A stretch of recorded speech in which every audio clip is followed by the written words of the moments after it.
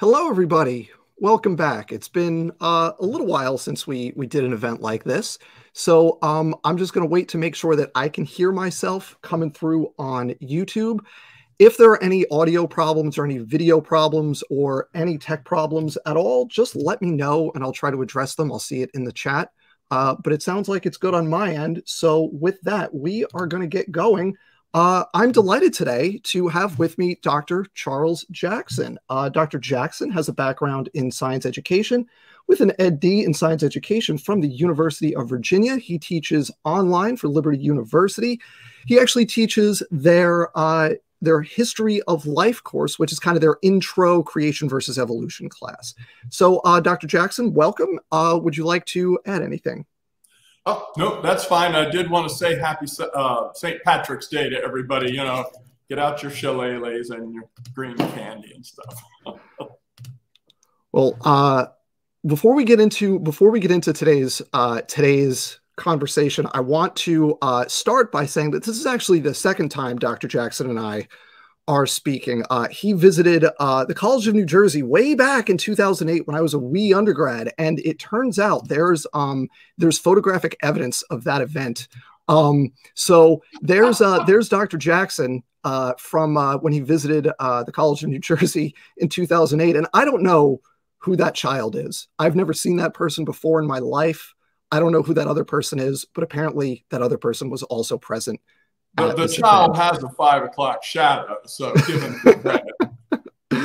so, uh, so that was I remember that that was fun. We talked about molecular uh, evolution, and uh, and that was fun. So we're gonna we're gonna talk about kind of similar stuff today, actually. So enough of that. We can uh, we can we can put that down. So uh, our topic for today is the question: Is universal common ancestry testable with DNA evidence?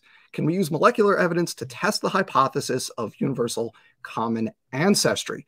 And um, so I just want to give Dr. Jackson a few minutes to kind of introduce his side, his his thoughts on the question, and then we'll we're just going to talk about it. If you've seen these events before, um, I just kind of like to have informal conversations with with creationists and we talk about pretty specific things. So I've had uh, Dr. Michael Behe, Dr. James Carter, Sal Cordova. We pick specific topics and we just kind of talk about them for an hour or so, and that's always fun. So um, without further ado, Dr. Jackson, please, uh, the floor is yours. What do you think about testing universal common ancestry with DNA? Well, I consider myself pretty fortunate uh, having a conversation, being interviewed by you, because uh, from all of your experiences that you've had so far in these discussions, I would think that you would have a pretty good fleshed out idea of what do creationists believe. I mean, not to knock Sunday school teachers, but it's a little bit more than Sunday school stuff. Um, it's looking at all of the same evidence, just with a different worldview, a different paradigm, a different perspective. Of course, the, the creationary worldview instead of the evolutionary worldview. And uh, having rubbed shoulders with so many, uh, uh, what I would call a little more uh, on the up and up on legit creation uh, uh, scientists and speakers and theorists, you probably actually have a pretty good idea of, of what the loyal opposition actually does believe. Because a lot of times we're lampooned or the person really doesn't know what we believe. They think we uh, we believe in flying saucers and there's no such thing as dinosaurs. And I've really gotten that kind of thing uh, while I'm while I'm speaking someplace, and it's kind of disappointing that they don't really know uh, who I am and, and who I represent and what we are.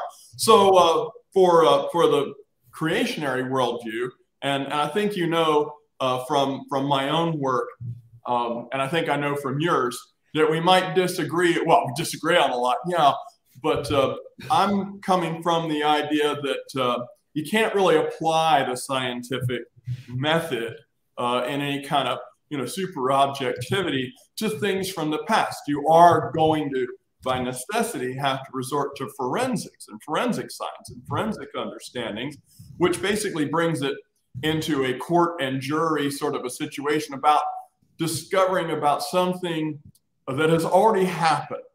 And one of the key important things I think is if you're trying to prove your point about something, you're too late. It already happened. So in science or any, even philosophical realm, you're really trying, if you're being honest, to find out what did happen, not what could have happened or what you wish to happen, or or did you're looking for what did happen, what really did happen. Now we're not going to be able to do that with a forensic situation. We're going to, and this is what people do. They look at the same evidence and then they they rack that up into a uh, uh, a theme that they believe about the situation uh, evolution or creation, uh, uh, common design versus common ancestry, and then um, pigeonhole and rifle through and categorize all of the same evidence into a structure that goes with with their will worldview. So what I'm basically going to say in, in, a discussion is that we're not really going to be able to prove or know but what we can do is talk about, well, now look at this does fit, and look, this does fit, and this is what our side says, and this is what our side says about that. So uh, I, I think it's useful and interesting uh, to stir this pot of stew, uh, but, uh, but I also don't believe that, that creation is testable because you can't go back there and do it, have God make the universe again, and that evolution is not testable. Now, there are evidences that are left behind, like footprints in the sand. It can kind of give you a lot of clues, and you're doing a lot of, uh, well, you know, Sherlock Holmes sort of stuff about it and trying to, well, literally, like in a courtroom, make your case. So I figure that's what we're doing here and, uh, and talking about, uh, well, the best case that you can make. Yeah, so thank you for that, uh, for introducing the, the kind of topic for us. So what um so what we're going to focus on is this this kind of the big hypothesis, right? Is universal common ancestry or not essentially. And um I actually so I actually disagree uh, on two on two grounds here. One, I think you know you can test things that happened in the past. We can do that scientifically, and I actually think, uh, and this is where I uh, you know you often hear that creationism isn't science because you can't test it. I actually think that there are specific creationist hypotheses that you can test, that you can say, this is a hypothesis. This is like, we can actually do the work and test this. And so I actually think that's possible for both evolution and creation, as long as you're talking about something that's specific enough. And I think universal common ancestry with you know molecular evidence, DNA sequences, I mm-hmm. think that's specific enough. We can make predictions and then test those predictions. And are the and if depending on the outcome, we're never going to be able to say because this is science, right? We're we're not doing math, we're not proving things, but we can exclude things from possibility if what we find is sufficiently different from what we predict, right? If we predict something and we get something that's like way the opposite of what we predicted, just completely different, completely blows what we, the thought process that led to that prediction out of the water, then we say, okay, that hypothesis, that's probably not right. We just, what we find just does not line up with how we think this works. And we could do that for evolution and for creationism, which I think is really cool as long as it's really specific. So with universal common ancestry, with DNA, I think that's a place where we can make very specific predictions that must be true if one or the other of those hypotheses is true. And then we can go back and evaluate them. Does that sound about right? Uh, yeah, I get that. The, uh, the predictions and then seeing if it plays out. Uh, oh, and, and let's try and remember not to call it creationism. Otherwise, I'll have to start calling it evolutionism. Uh, creation and evolution, they both end with T I O N. And uh, as far as uh, predictions, yeah, you've got to. Um, what you're doing now is you are looking at these cases, you are looking at these scenarios, you are looking at at uh, if then situations, and if the if then goes with your posit, then that lends weight to your posit. However, we always, always in the scientific method have to uh, consider or or be wary of a third cause that could be doing it. I mean, the only way that we can actually have something that's that's strongly conclusive is if we have figured out some kind of a test, and this is true in experimental design, some kind of a test, in this case, uh, an after the fact test about predictions, uh, where only our posit could actually adequately or even at all explain the observations that we see. Is there any other way this could happen? Because if there's any other way that this could happen, then it, it stays in the uh, in the supposition area. It stays in the this is a good idea I've got. I, I can't prove it forever to you because there are some other things that could cause this same effect. But if you've got something where only this cause could make this effect, that's a lot more powerful, but that's hard to come by in forensics.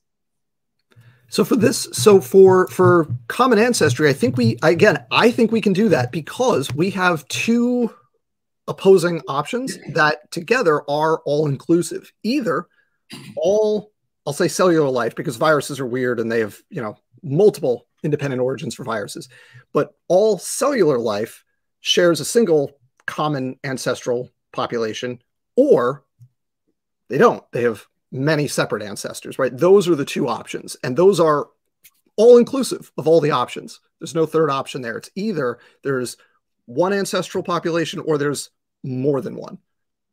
Well, I'm sure there are a lot of people that would claim a gray area, but I think between you and me, that's exactly. I, I, so you could like, you could like, you know, panspir, you know, panspermia, and like you could you could get like I'm saying for for life originating on Earth at some point in the past. I think we can say those two things are all inclusive in terms of your options, which is great because if we can find hypotheses that allow us to make predictions where one one side of that says this, the other side says that, and then we can test which it is. And that's what we can do with molecular evidence. So you can look, for example, at nested hierarchies in your, your DNA sequences. Now we could get down into the nuts and bolts of it, I think.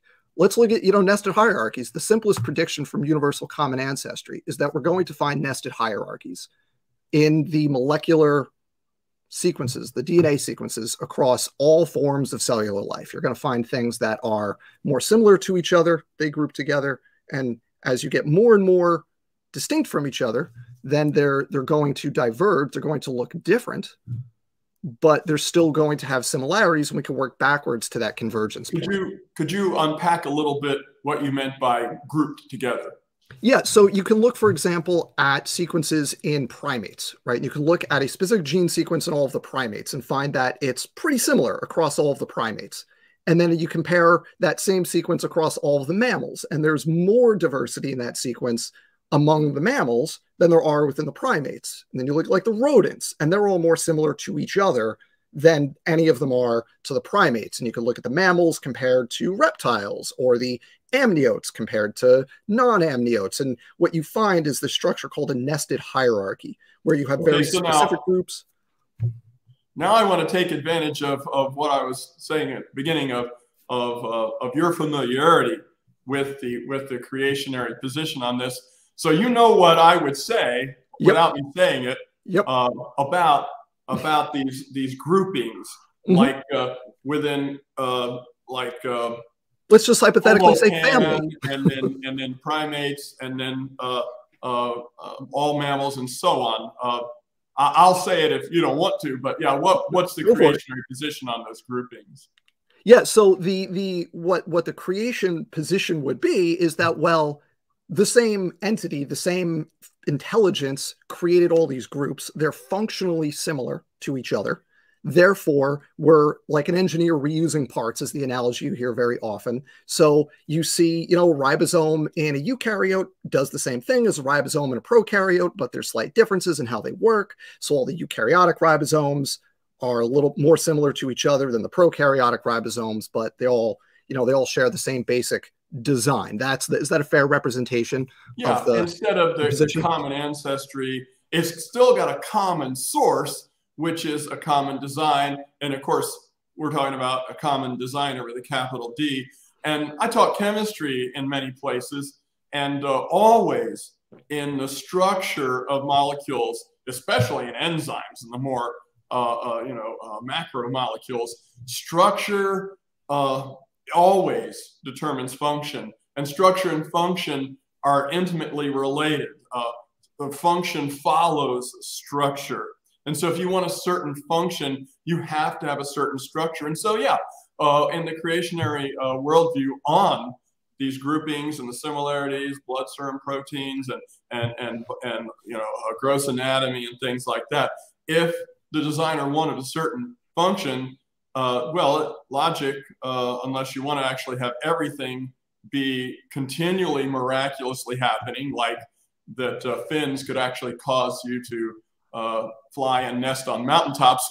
Generally, the and, and in logic and, and good reasoning, uh, the designer would design uh, parts that are just as similar in their structure as their intended functions are, which chimpanzees being uh, so much like us. I mean, they have fingernails instead of claws, you know, uh, binocular vision, um, all kinds of, of things like us, uh, only as similar in, in uh, uh, structure as they are in function. And of course, since, since there would be such a great diversity of life, and therefore such a great diversity in function, uh, that that diversity in structure would, would run parallel with it. And so that would be in the creationary worldview, it'd be the the rhyme and reason for these these groupings. But but I know that that's that's a very different uh, origin for the uh, uh, the whole concept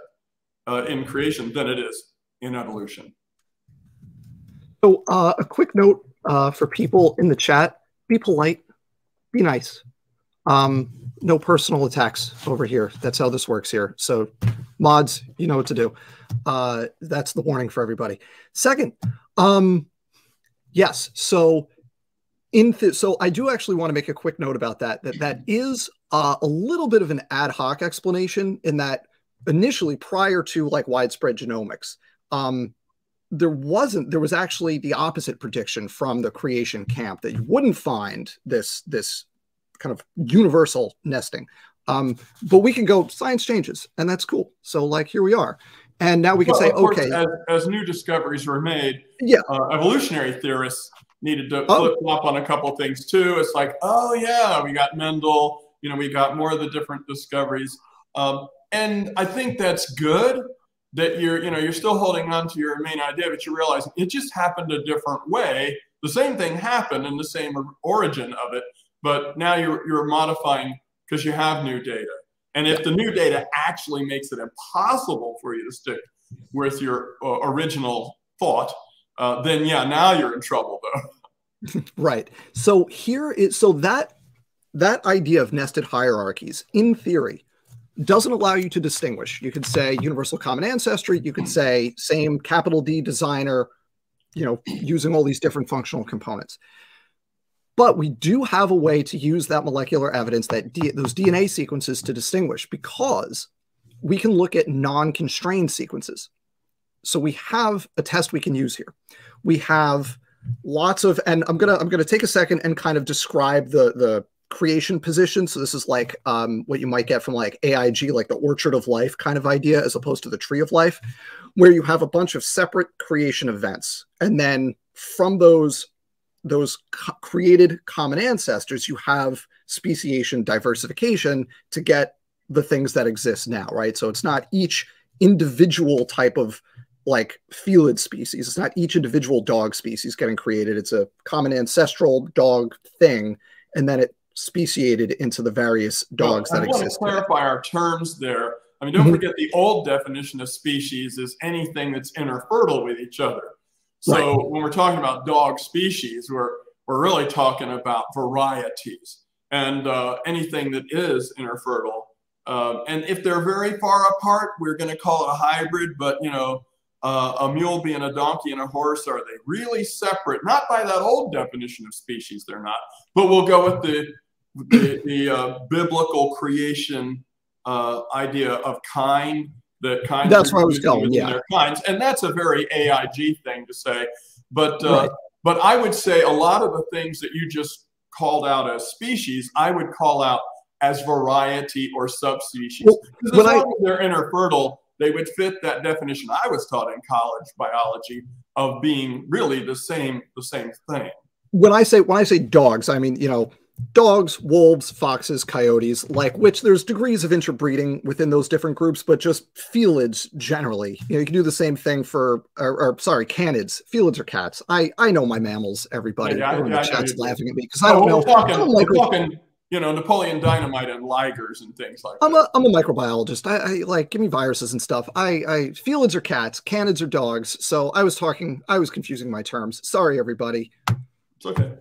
Taking the L on that one. So, um, yeah. So what I mean is you have you know a created kind and then speciation diversification from there for all these different Well, groups and yeah, different diversification. yeah And, diversification. and I know a lot of creationists call it speciation, but a species is anything that's interfertile, then it wouldn't fit the creationist definition of species. And so it would really be varieties or we would something. use yeah. So so we're using right. If you go by the biological species concept, then yeah, it's about interbreeding. So my point is we have these different creation events. We have diversification within each variety going from creation to present day.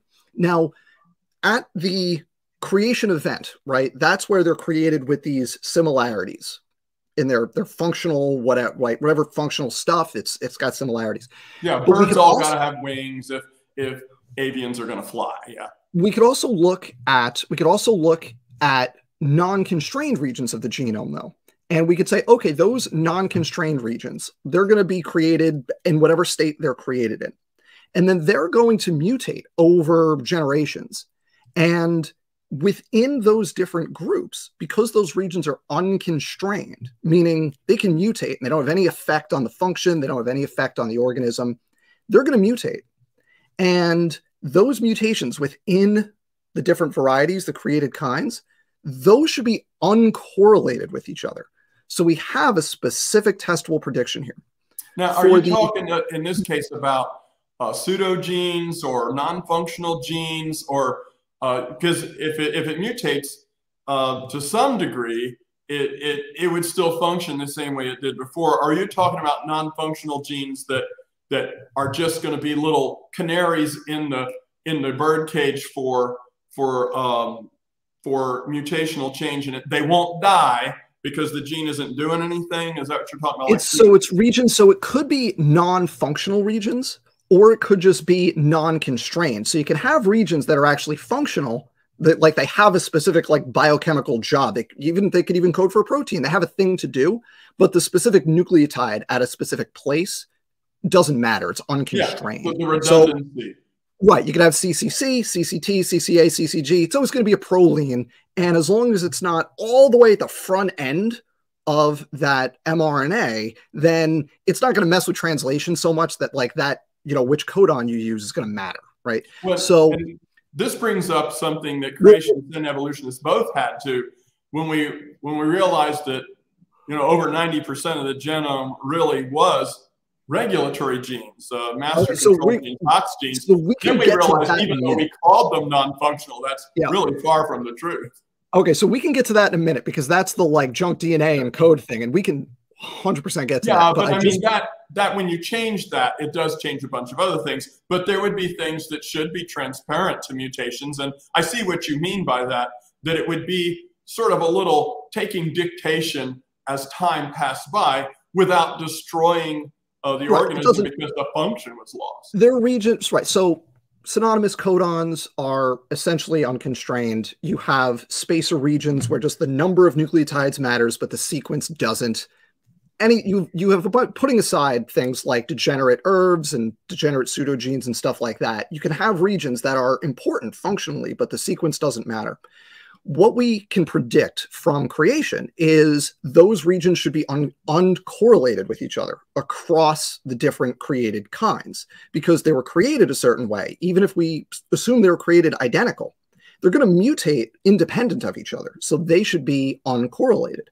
But Now, the evolution forget, model, some of them could be correlated because, like you said, it's it's not a we creationists uh, gave up the phylogenetic lawn in favor of the phylogenetic orchard, like you said. So Well- some of them would be correlated Well, that's what each saying. Exactly. if they really do have a common ancestor, which Yes. would fit.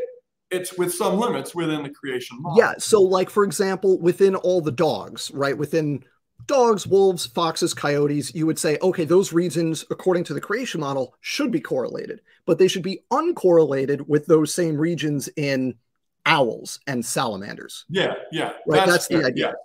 Now, according to the evolution model, all those regions should be correlated with each other as far back as you can go. As long as you share that region, it should show this this this phylogenetic signal of common well, ancestry. I'm glad you said that. As long as they share that region, in other words, it's actually that that what how far far back you're going to the common ancestor, common ancestors, common ancestors. That the the common ancestor where the split occurred it, it, does have to have the region that's that's uh, it would have to and be a shared region yeah. in order to show this parity like you're talking about. Yeah. Yeah. So okay. So what we can so that's a prediction we can actually test though. And it's great because it allows us to distinguish between our two models which are op, you know it's either this or it's that and as long as you're not positing like some alien seeding life on earth those are the options we have we've done that math we can look, for example, at endogenous retroviral insertions, which we know we can just document that they're not subject to purifying selection. They're unconstrained. And we can, uh, you might argue that they're functional in some contexts. They're not constrained because we know how to see purifying selection. So we know that they're not constrained. So we can look, for example, and we can reconstruct a like a simian phylogeny with ERVs, and we could do a rodent phylogeny with ERVs, and then we could do a you know the rodents and simians are actually pretty close. I forget what the next group is called but you can do the next group and go back further and further. You can reconstruct the phylogeny with the unconstrained endogenous retroviruses even though each of the subgroups should be uncorrelated with each other. You can also do this with codon usage and other unconstrained sequences actually within genes you can go through and and show that there's strong correlation with the phylogenetic signal that you generate using highly constrained sequences. Like that's a specific prediction that has been tested and it directly refutes the creation model of the, the orchard.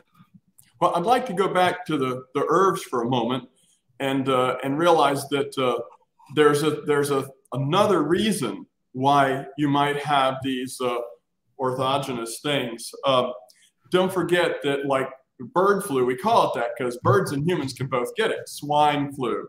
Uh, there are many different kinds of viruses that can insert uh, an, an ERV, an endogenous retroviral sequence, into a genome of two separate, uh, very separate species in, in two different um, um, orders, for instance, like in, in uh, you know, uh, pigs and uh, um, class Mammalia and humans um, or even eggs and humans, uh, uh, different uh, different class orders and and even phyla can get the same infection and then have the same ERV contributed at the same time without ever having been phylogenetically related to each other. It could still do that. It could still happen. So, so two things with that. One, is that the the insertion sites are not deterministic. So it's not just the fact that they share the ERVs, it's that they share them at the exact same place in the genome. But more specifically than that, what I'm talking about, it's not the presence or absence of specific ERVs, it's the mutations that occur within specific ERVs at specific sites within the mammalian genome, for example. So you can see like rodents and primates, for example, share a specific ERV and you can see that you know, like rats and mites share this specific you know C to T substitution in that ERV, and then rats and mice and you know some other rodent shares shares this other substitution uh, across the three of them, and then you could go you know further back and back and back. You can look at the primates; they share their own mutations within the specific shared ERV. So it's not about necessarily you can do it with you know just the insertions themselves, the presence or absence but I'm I'm talking specifically about the pattern of mutations within those ERVs. Let's let's grant they're separately created within you know the rodents and the primates, right? They're separately created within those two groups. Well, There's no reason that created? the same mutation should occur. What what is separately created within the, the endogenous retroviral? Well, they're they're not actually created. You know that they're contributed.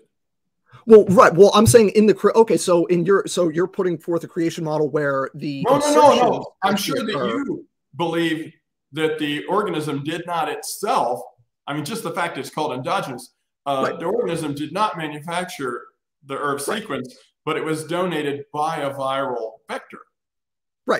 Yeah. So it didn't actually create it. And I, I do want to bring up that that the insertion clarify. of the ERV is not is is been found to be not completely random at, at certain junctures in uh, the DNA sequence and in the in the genes on the chromosome.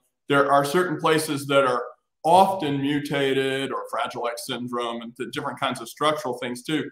And so there are kind of favored sites for these things to insert. And even after that, they can transpose around and uh, and come out and flip around and go to different places. They might not even be in their original um, uh, location, but uh, but that there are certain sweet spots where they tend to add, and depending on how far um, uh, far away related the two individuals are, the two uh, uh, organisms are, they could actually have the same kind of sweet spot just because the structure of their DNA is similar.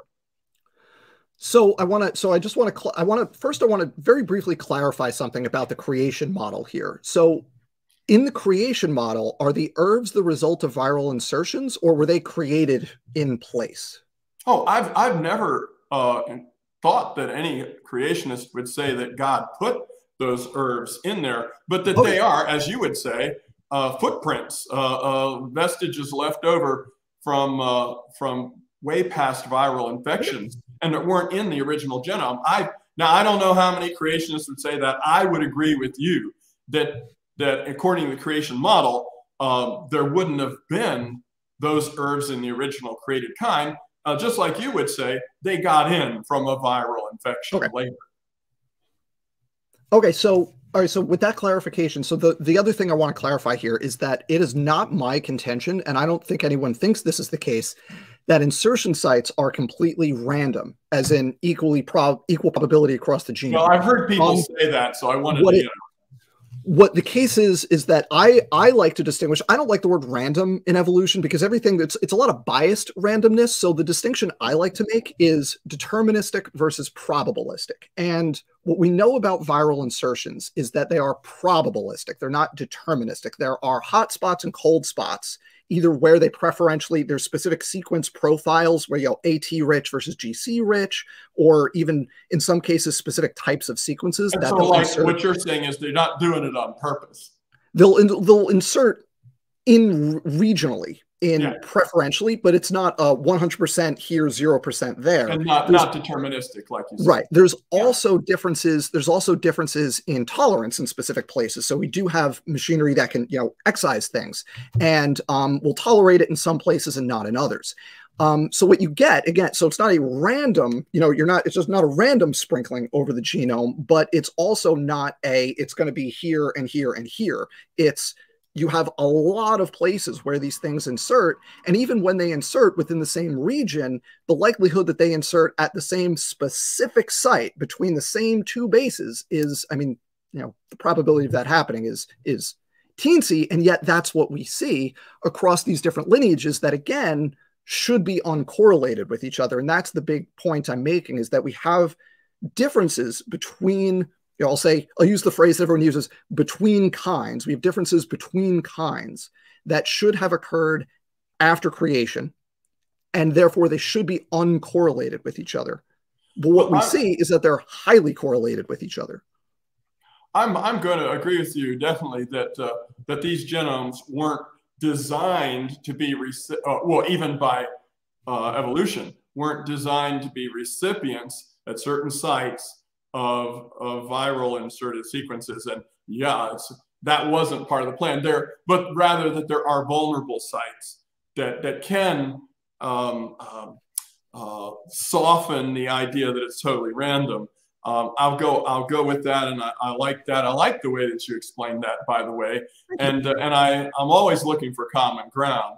Um, by evolutionary theory, uh, the genomes would have formed not to deliberately receive uh, endogenous retroviral sequences. And by creation, the genomes would have been also formed, not with any mind of, oh, we're going to receive endogenous retroviral sequences. So um, in both cases, it's sort of a, it's sort of a, well, it's you know like a childhood scar, and then it gets handed down through the generations, the record of a viral infection. And uh, I see where you're going, uh, but that uh, I would ask though. Um, you said that there's a certain percentage of them that uh, that are are really um, rigidly found in the same sort of places in species that are far enough apart that they shouldn't be. But uh, but you know I'm familiar with the percentages. What percentage would you say uh, out of all the ERVs that exist in a genome? How what percentage of them actually do uh, follow that kind of a pattern predicted by evolution? What percentage follow the pattern? I don't have a good. No- I don't know. I don't have a good number for you off the top of my head. Well, uh, just a because ballpark of how many, how many. I don't know if you want to talk about our genome, human genome, or some other one, but how many ERVs do we do we actually carry? It depends if you're talking about complete ERVs, which is like not that many at all. And by complete, I mean you have the the terminal repeats on each side plus remnants of the genes in the middle, the three main genes. And then, so you're talking about a complete ERV, um, or you could just have look at the, the LTRs, the long terminal repeats, which that's a huge proportion of our genome is littered with the remnants of LTRs. Well, would would they are, both be um, accessible um, for the purpose of, of looking for the pattern that you're yeah. looking for in evolutionary theory? Yeah, yeah, you okay, can look well, at that. So, all important to this. Right. Topic. And well, then how actually, many of them ballpark are we looking at? Tens of thousands. Yeah. Yeah. Okay. Tens of thousands. Uh, the number I I read was ninety eight thousand. Yeah, it's a lot. There are a lot, and and a lot of them are little broken sequences and things, but they're, but they're right. there and they're trackable. And and here's actually an important note that you you thank you for bringing up that that many of them are broken down and and there's so for just a little background for everybody. So when the virus inserts this is from a virus that has these these end sequences called long terminal repeats and then in between those it has three main genes. So a a recent or a young ERV is going to be mostly complete is that it has all of those components right? And we can look for example at like humans and chimps and find some ERVs that are not fully intact. They're not they're not able to mobilize and, and reactivate but they're they're they have the the hallmarks of each component. And as we go back we look not just at the the insertions that we share with other groups but the ones that we share with more distant relatives are actually more degenerate than the ones that we share specifically with just chimps or just chimps and gorillas, showing that they degrade over time. So you actually see not just that you have this phylogenetic signal, but you also have a temporal signal showing that the ones that are shared across wider groups of organisms are older and that they are more degraded and therefore they have actually mutated, they have lost more components over that longer time since that insertion in the common ancestor. And again, the whole point of this this conversation about ERVs is that this is not this is not just not expected from the creation model. This is a direct contradiction with the creation model because those patterns should not be discernible outside of individual created kinds. Well, so that's the pattern the, of the degradation, you know, we have to consider the null hypothesis on this one too, as to what is there anything besides temporal that could be causing the degradation? Oh, Are yeah. Yeah. I mean, you have to consider that as a possibility. Yeah. Like I said, uh, another cause that, that could be having the effect. Right. So, for example, there's there's enzymes that we are mammals make enzymes that go around and recognize retroviruses and we just see that's a retrovirus mutate mutate mutate mutate mutate and we just mutate the heck out of it in order to to uh to inactivate it that's just kind of an innate defense that we have these uh these um APOBEC, the APOBEC family of cytidine deaminases, my friends love a good cytosine deamination. And uh, so they just go around and mutate these. Now, the interesting thing is not all organisms have those proteins uh, different species do it different ways. So you don't expect a an enzyme, or I shouldn't say different species, different I don't know classes I don't know where you are in the file in the in the hierarchy there, but different groups of organisms do that different ways. So you wouldn't expect just a time dependent mutation accumulation um, pattern to look the same as an enzyme driven pattern of of degeneration within the ERV insertion. So that's actually something we can distinguish because the enzymes do very specific types of mutations, whereas the just over time loss of stuff, you tend to lose the genes first, and then the LTL, the LTRs get shorter and shorter, uh, and we know why that is. So those two patterns are distinguishable. Of course, some sequences would just be naturally uh, not as tight, not as strong, not as durable, and would degrade quicker uh, given the illusion of time. And that's a possibility. I'm not saying that that's it.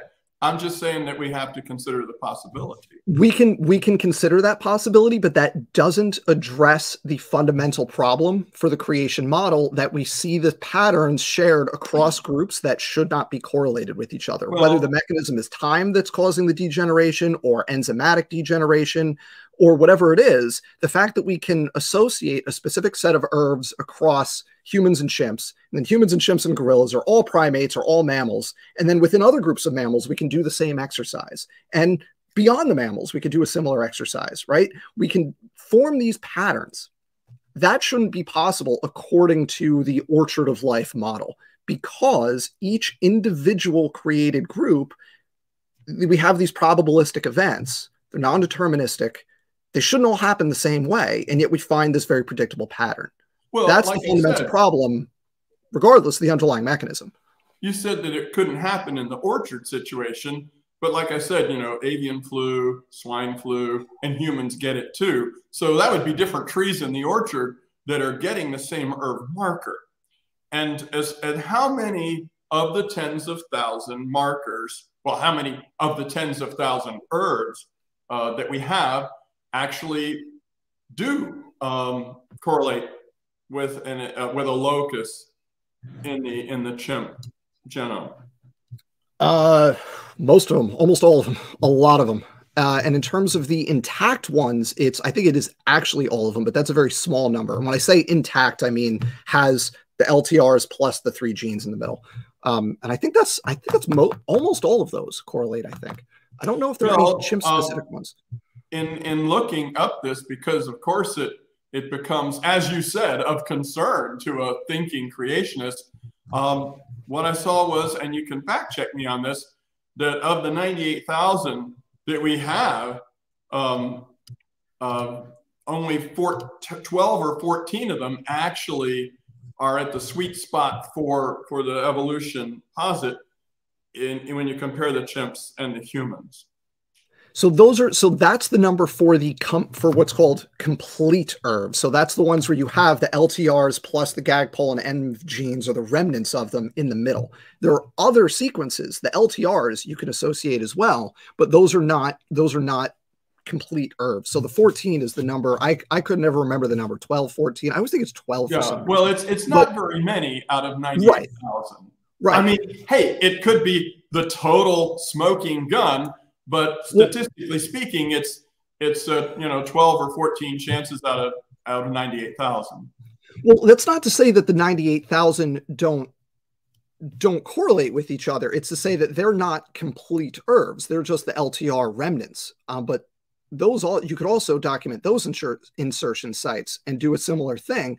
Um, you can you can look at hundreds across. I think it was a couple hundred across uh, was it mammals and uh, sorry, not mammals. It was uh, primates and rodents. I think that one has. I think there was a family of two hundred something in there. There's yeah. Let's see. So this was let's see. I think it was 200. Yeah, it's 200. Yeah, they call them endogenous retrovirus-like elements when it's when they're missing the genes, when it's just the LTRs. You could still correlate the locations, the insertion sites, but the technical term for them is not I I lump it all in under ERVs because it's just simpler than making the distinction. But like they're all from they're all derived from viruses. They're all ERVs. That's fine. Oh, sure. But like we don't call them, they're not if if you're being technical, right, you're not supposed to call it an ERV unless it has all the components, which most of them do not, which is where you get the 14 number from. All those other sites, we can still document the similarities, the, the matches of those insertion sites. But that's not the same as technically, for using very strict language here, ERVs. ERVs were you know refer to something very specific where it's LTR, Gagpol, ENV, LTR. Well, all of the 98,000 are um, endogenous. I mean, they come from outside yeah. the organism's yes. germline, right? Yes. And so yeah, they all, viral insertions. viral infections. Mm-hmm. And each of them come from a viral infection event, presumably that happened not with just one individual, but with an entire breeding population that that the current population is descended from. You know, with whether you're talking right. creation or evolution, right? Right, exactly. Yeah. So it had so to be right. It had to have an, an insertion in the germline. It had to become fixed in the population, and that's why we all share a bunch of ERVs and ERV derived sites. Now, there is actually fun. There is actually an ERV right now in humans that not everybody shares which is super cool. We actually have one right now that is new, recent insertion in the human population where some humans have it and some don't, which is super cool. I'm obviously I'll never live long enough to find out, but I would love to find out if that thing goes extinct or if it becomes fixed in the population. That would be super cool.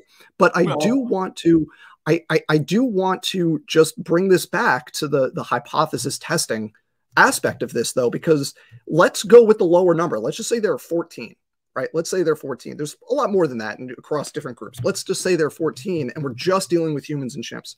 So I'm gonna, I'm gonna, I just want to confirm in you know your version of the the creation model, humans and chimps not common ancestry, right? They share separate creation events. With that, that yeah, yeah, yeah. I think right. that's okay. pretty standard so, creation area. Yeah, yeah, yeah. I just want to make sure. So, so let's say we get these 14 viral insertions that occurred in both of them they're not deterministic, but they're probabilistic. They have preferred sites in the genome. So somewhere within a limited fraction of the genome, we have these four or 14 viruses happen to insert and become fixed in the population in the last 6,000 years or so. It, that doesn't seem realistic, does it? At the exact same sites, and they accumulate like correlated sets of mutations. That doesn't that doesn't seem realistic, does it? Well, now you're right. It would sound very significant, probabilistically thinking, uh, if we just ignore the other, the rest of the 98,000 that are there. And they really are there, and they really are historical events or they're remnants of historical events, uh, and just as much as the 12 or 14 are. So, since they all represent a historical viral infection, and with the insertion of these ERVs, uh, even whether they're fragmented or whether they're they're total, um, these other ones do matter. And so the fact that only 14 out of 98,000 actually present at a uh, at a sweet spot for indicating common ancestry between chimps and humans, pan and homo, uh, that could statistically just happen. Well, if you did a Cairo a row on it. Um, uh, students' uh, uh, calculation, I'm forgetting the, the term actually, but a statistical workup on it, that's certainly well within the realm of, of uh, you know, you spin the wheel enough times and you'll, you'll hit 22 black, a certain number. I do want to be, I, I just want to clarify something for everybody, though. It's not that the other 98,000 insertions don't show a phylogenetic signal. It's just that they're not in a technical sense, they are not what we call ERV, like complete ERVs, but we can still align those parts of the genome. The unalignable parts of the genome between the humans and chimps is only a few hundred thousand base pairs. It's a relatively small percentage that you exclude uh, when you're doing an alignment between the humans and the chimps.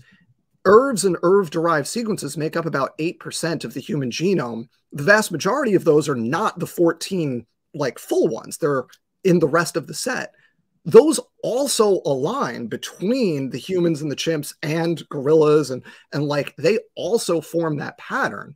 It's just you, that when we're you, talking, you did say that uh, that those could be could be correlated or could be aligned, um, um, which kind of hinted to me that that somebody needs to do that. Some evolutionary researcher needs to actually go beyond the 14 and then see how many of the other 98,000 actually do. Has somebody done that? Yeah, yeah. We have the human and chimp genome comparisons. And well, I know we've got that, but how right. about how about uh, within those two, the, the chimp sequence, the, the human sequence? Ha, has anybody looked at the rest of those fragmented ERVs and gone, oh, there's a pattern there too, and we don't just have 14?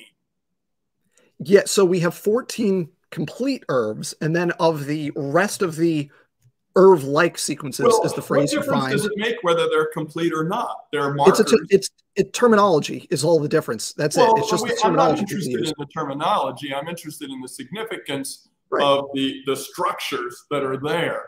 And terminology like species and subspecies and varieties, like we were talking about before, it matters when we're trying to talk to each other.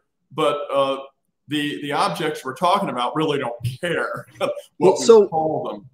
So the answer so the, the answer to your question is that yes that work has been done and you can correlate these different sequences across not just humans and chimps but across larger groups. That has been done. So for example they can correlate across uh, within all of primates and then you compare those same sets of sequences into other mammal groups like rodents is is the the particular study that i'm familiar with involves ERV like sequences in rodents where you can actually show how all the rodents nest together in their shared ERV like sequences.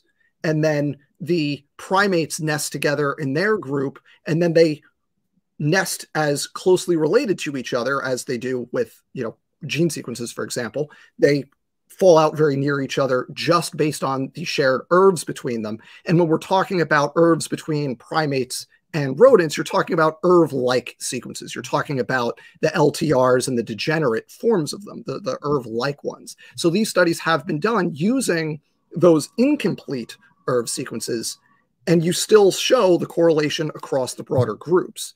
That that. Well, what percentage of those then? I mean, we both knew and agreed upon the, the 14 out of 98,000. Uh, is that uh, number available? How much of the other 98 do significantly uh, show a non show a, uh, a non-random or a statistically significant correlation, say between humans and chimpanzees? Do we have a is that data known or is, is I don't have a number for we, you. We have that that we could mention it in the next uh, in the next few minutes. So I don't have a number for you specifically for the ERV-like sequences. But somebody um, does. But we do, yeah, someone's done the math. I don't know what the number is. Uh, but we have a what I what I know off the top of my head, we have a genome-wide number for humans and chimps. And then the vast majority of those 98,000 ERV-like sequences are conserved in both lineages. You get a few that are unique to one or the other, and you get a few that are shared humans, chimps, gorillas. You even get a few that are chimps and gorillas, but not humans, or uh, humans and gorillas, but not chimps. And that's called incomplete lineage sorting. And like we could predict the frequency with which that happens. And that's actually another confirmed prediction of the common ancestry model, but that's a separate well, uh, I understand why nailing down the 12 to 14 was important to evolutionary theorists. And, and I would do that if I was an evolutionary theorist as well. Um, I'm sure if the um, if if there was statistically significant correlation between the other the rest of the 98,000 that that uh, uh, a rigorous evolutionary theorist would want to publish, categorize, and then establish in the literature. Yes, the, there's more than just 14 out of 98,000. Uh, so the case is not just uh, by luck uh, that these things happen, and whether they're they're uh, complete sequences or whether they're fragments, uh, they're all still markers that can be compared to each other um, just as easily. Now, yes, they can change their locus over generations. That they can transpose and flip flop in and out of, of, vulnerable sites. And they can, as you said at the very beginning, uh, they can mutate and degenerate along through time, uh, hopefully still be recognizable uh, even though in different uh, uh, gene pools or even different species that have got the same virus, they might become less and less recognizable. And granted, over time, some of the similarities would have been lost so much you wouldn't know it was the same the same virus that even contributed it if you waited long enough or if the mm-hmm. mutation happened long enough. But what what I'm asking is, um, it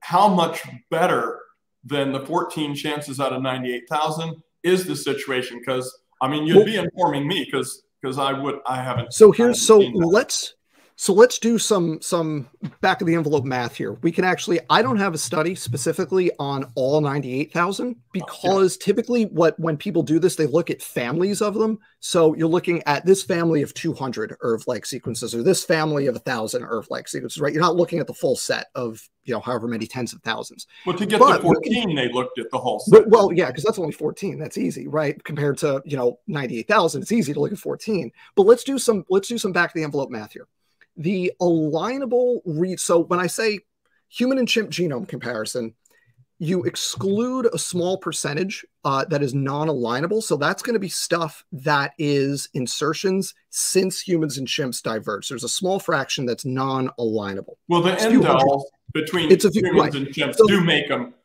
less similar than than than is right. So, so you know, popularly speaking. So you get rid of the insertions and deletions well, so, get, then, so give me a second. Yeah, just, yeah.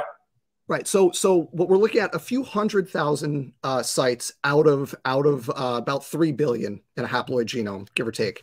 Um, so you exclude those regions. In the rest of the genome, you get about 98% similarity between chimps and humans. A low end estimate for that, a low end estimate that uh, from creation sources, if you do the math, gets you to about 96%. I know this because I did the math recently. Um, creation sources actually claim 85%, but if you actually do the math, like you work through step by step, you end up at 96%. So let's use the low end estimate of 96%. If we say that every site in the genome between humans and chimps is identical, which we know isn't the case, if we say that every site is identical and all those differences, those 4% of differences, are concentrated in the ERVs. Now, in the human genome, that's about 8% of our genome is ERV derived. And if that entire 4% of difference is concentrated in those ERV derived sequences, then that means out of that not that full set of 98,000, worst case scenario, they're still 50% identical to what's in the chimp. Well, I mean, you're you're just talking about the genotype, not the phenotype, right? I mean, you're well, talking, talking, about, about just DNA, DNA sequence. You're not talking just about our phys- physiology and our physical characteristics. Yeah, right? just talking about sequences. That's all, just sequences when ERV derived sequences. That's it. Just well, uh, don't forget uh, that uh, common common function requires common well, structure. Well, and if we're going to have fingernails and and uh, we're going to have this, uh, you know, everything except we don't have a thumb at the end of our our leg uh, like, if like I, if do. There's slight differences there, but uh, well, I'm just I'm trying look, to be generous to the creation math, though. I'm trying to say so. Like we're saying, how many of those 98,000 are the same between humans well, I thought you were just talking about um, the uh, uh, the percent of similarity total between chimps and humans. Right. so what I'm, let me let me. Well, I'm not trying just, to say that the difference is all due to ERV. No, but what I'm trying to do is say we're trying to say the question was what of those ninety eight thousand, yeah. what fraction are the same? Is it just fourteen out of ninety eight thousand, or are there more than could be reasonably explained via probability? And so what I'm trying to say is let's take all of the differences in the genomes between humans and chimps, and let's say worst case scenario for ERV similarity, and let's incorrectly, but this is wrong, but let's do it anyway to be super, super conservative in terms of the, the comparison here.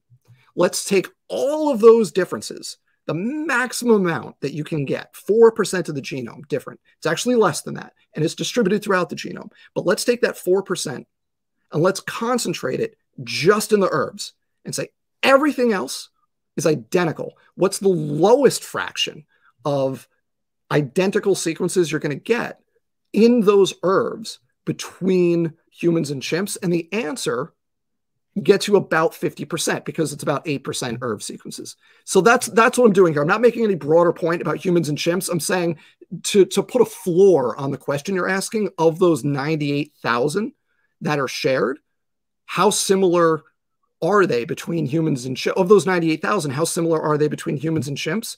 The absolute floor is half of them. So That's isn't that, like you said, uh, envelope math? It's a thumbnail yeah, oh, sketch. Oh, yeah. Uh, that, that what you're saying is then half of the 98,000 ERVs are orthologs between us and chimps? I'm saying that if you make every assumption like in such a way that is the lowest possible, that gets you the lowest possible level of similarity in these sequences, you end up with a degree of identity between the two of about 50%. Now, the real number for this uh, is over 99% as uh, a, a, well, you're talking about the whole genome you're not you're not no no no no no. i'm talking i'm actually if i may uh, somebody uh, i know just popped in in the chat who's a paleoanthropologist who actually knows this exact answer that i did not know um, but she knows it. Um, it's it's over 99.9% uh, between the, it's 99.9% between the two. What is 99.9 the 98000 ERV like sequences so 99.9% of yeah. the ERV sequences are orthologs between chimps and humans. Is that it's what she's the, saying? The specific number and uh, uh, Gutsick Gibbon in the chat. I thank you. Uh, I'm just gonna I'm just gonna pull this up because this is a tool I can have. Here we go. So here you go. So um, less than 100 of the 200,000 ERVs in humans are lineage specific. Yeah, so that's the so I didn't have that answer for you, but I'm really appreciative that Gutsick Gibbon was here and uh, and provided a reference for us. So it is it is the vast majority of them, and that is uh, from a 2006 paper. Thank you, Gutsick Gibbon. I appreciate your contribution. That was impeccable timing. So so I didn't have an answer to your question, but we do have an answer. It is uh, almost all of them is the answer. Wait a minute. I thought it was 100 out of 200,000 so that's 100 uh, that are human specific. So the rest of them are shared between humans and chimps. So that's uh, Palavapur Varapu 2006. Huh. Yes. Well, I never had anybody say that to me that uh, only 100 of the 200,000 ERVs uh, don't uh, don't confirm the uh, common ancestor of chimps and humans. Is that is that actually what what uh, the consensus of the group here is? That uh, only 100 out of the 200,000 aren't orthologs. Uh, that is the implication. Yes. So of those okay. 100, they were they were inserted and fixed in the human genome uh, post divergence with our common ancestor with chimps would be the implication. Post divergence. Post so the the uh, the 100 that are lineage specific inserted since we diverged, and the rest of those insertions fixed prior to our divergence. Okay. Uh, yeah. In the in the whole evolution scheme of things, then only 100 of them weren't in the common ancestor.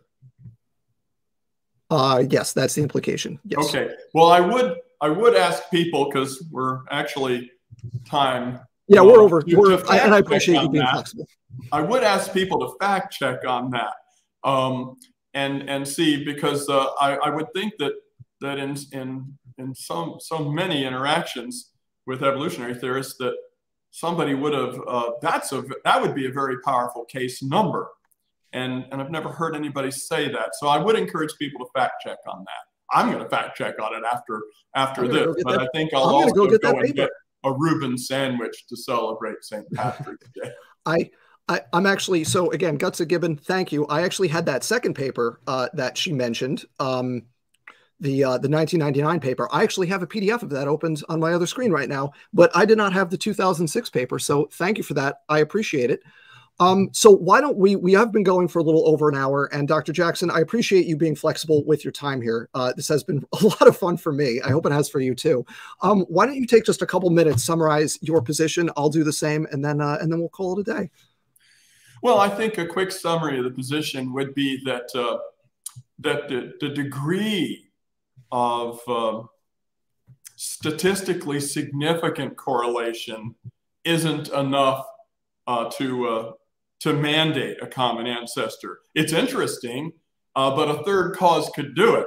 Um, quasi simultaneous viral infections by the same virus viral strain would in very different species, even something like uh, mice and humans, uh, insert and may insert at very same sweet spots, uh, giving the illusion of common ancestry and giving the illusion of having been inserted before the uh, splitting off from the common ancestor. So I guess to to uh, round it all off, except for looking about those 100 out of the 200,000 thing, uh, that uh, that a third cause, something else could be doing it, uh, which would be uh, simultaneous infections and, and, and deposition of the endogenous retroviral sequences, whether they be uh, complete or just fragments, whether they have degraded a lot or not and that it could be a third cause. In other words, another cause besides uh, the mandating that the that the evolutionary tree story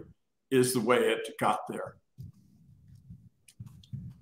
All right, and uh, I'll just wrap up by saying um, the topic for today was uh, the question was, can we test universal common ancestry with DNA? Um, I, I hope we arrived at an answer of yes, because we spent our time talking about specific ways to disentangle the the uh, the common versus separate ancestry hypotheses here.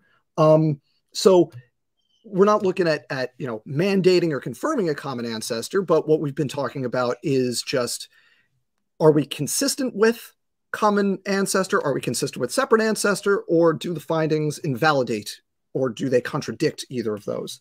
Um, and I think the correlation across the kinds, across the separately created groups, would would be a strong disconfirmation of the separate ancestry hypothesis. It's not just the presence or the site of the the insertions and other sequences, but it's the the mutation pattern as well. Um, so, Dr. Jackson, thank you so much for coming on. Um, that was really fun and the audience they're all saying that that was that was a really fun conversation. So i appreciate you being here. Uh, i am going to call it now just um a little just uh, housekeeping for everybody. If you are free in just under three hours from now uh, head over to uh, the Dapper Dino's channel where we are going to have part four of um, Dapper Dino, myself, and uh, our, our guest star in the chat, Gutsick Gibbon, talking about uh, the Dismantled documentary. We're doing part four of that series that's going to be uh, premiering in just under three hours over on that channel. So if you're around in a few hours, check that out. Thank you, everybody. Appreciate you all being here. Have a good one, and happy St. Patrick's Day.